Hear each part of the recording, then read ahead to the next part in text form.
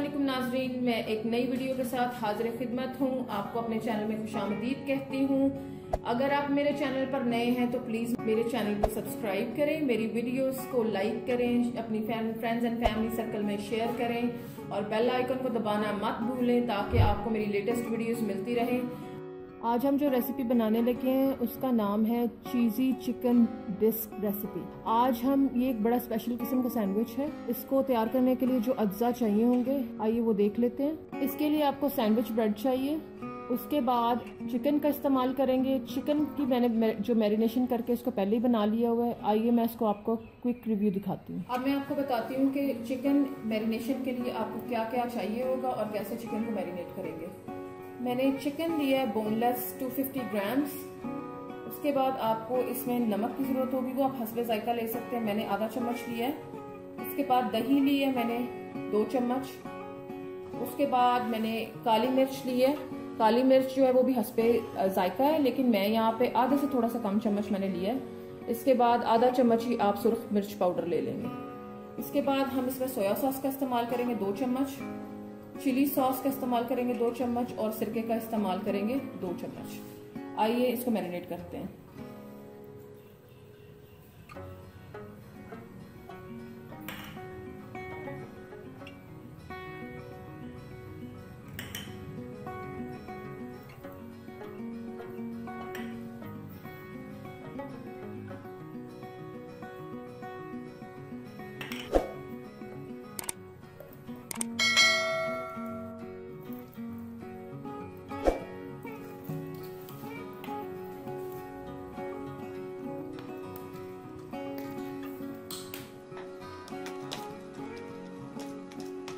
अब ये मैरिनेट हो गया। अब इसको आधे घंटे के लिए मैं फ्रिज में रेस्ट करने के लिए रख दूँगी।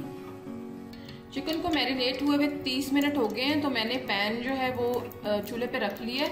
मीडियम फ्लेम पे, और इसमें मैंने तीन चम्मच जो हैं छोटे ऑयल के डाल लिए अब हम इसमें चिकन डाल देंगे। तो देखिए मैंने चिकन ऐड कर दिया।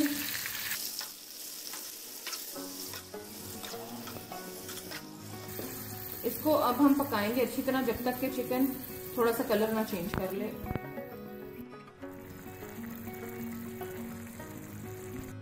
देखिए, पानी वगैरह बिल्कुल खुश्क हो गया अब इसका।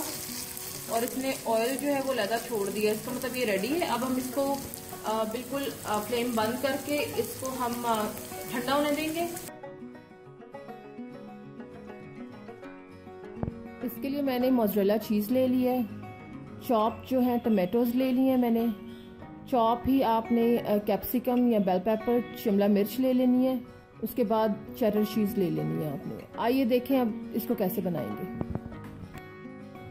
ये अब आप ब्रेड स्लाइस इस तरह ले लेंगे और ये मेरे पास एक स्टील का बोल है, जिसको मैंने इस राउंड शेप में मैंने इसको ब्रेड को काटने के लिए रख लिया तो ये एक हिस्सा आप इस तरह काट लेंगे। अब दूसरी ब्रेड का स्लाइस भी आपने ऐसे काट लेना है।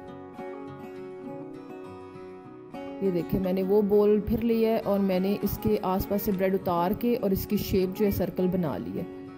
अब मैं इसके अंदर एक और छोटा सा होल करूँगी, जो मैं एक ग्लास की मदद से कर लूँगी, ताकि ये जो मेरा डिस्क सैंडविच है, ऐसे ही तैयार होगा। ये, अब मैं इसको लेदर रख लूँगी। अब हम जो है, चिकन की जो हमने फिलिंग ली है, उसको हम इसके अंदर फिल करेंगे। ये देखें आप ऊपर रख के भी फिल कर सकते हैं, पर ऐसे भी कर सकते हैं। ये देखें अब इसके ऊपर आपने चिकन डाल लिया। आप थोड़ी सी शिमला मिर्चें डाल लें। उसके बाद थोड़े से टमाटर डाल लें। अब हम इसके ऊपर चटर चीज़ डाल देंगे। और थोड़ी सी मोजरेला चीज़ डाल देंगे। मैं आपको इसका एक क्विक रिव्यू दे देती हूँ। जल्दी से दूसरा बना के इस तरह आप सारे सैंडविच खुद ही बना सकते हैं।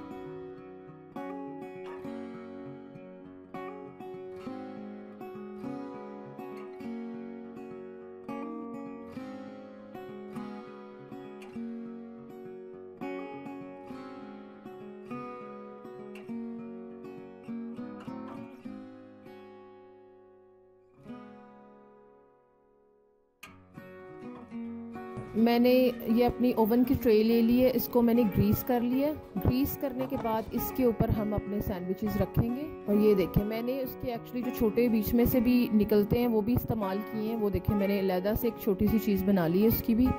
अब हम इसको ओवन में रखेंगे। और ओवन का टेम्परेचर जो है, आपने चलो वो 200 हंड्रेड फ़ारेनहाइट पे कर लेना है। और मैं ऊपर और नीचे दोनों से हीट देने लगी हूँ। और तकरीबन 10 मिनट के लिए हम इसको छोड़ देंगे।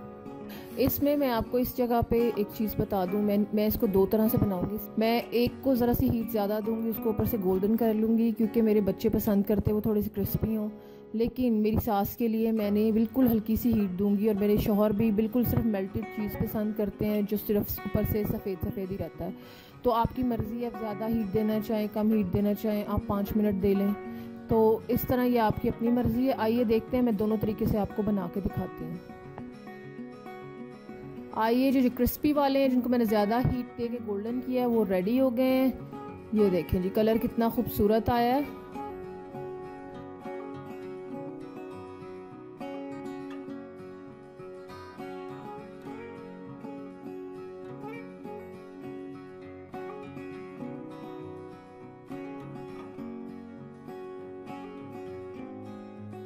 ये देखें, छोटे वाले कैसे ज़बरदस्त कमाल के बने हैं। ये वो सर्कल्स हैं जो मैंने ग्लास की मदद से बीच में से निकाले थे। उनके भी मैंने बना लिए हैं। बहुत ही खूबसूरत लग रहे हैं। अब मैं आपको दूसरा तरीका भी बताती हूँ कि दूसरे तरीके से कैसे आपने बनाना है।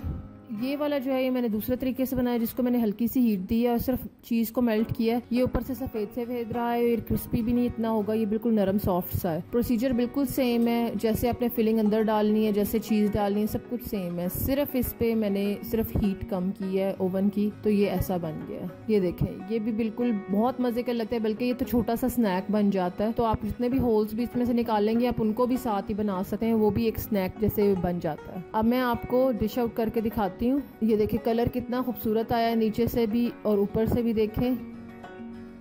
ये मैं आपको अब डिश आउट करके सारे दिखाऊँगी। ये क्रिस्पी वाले बने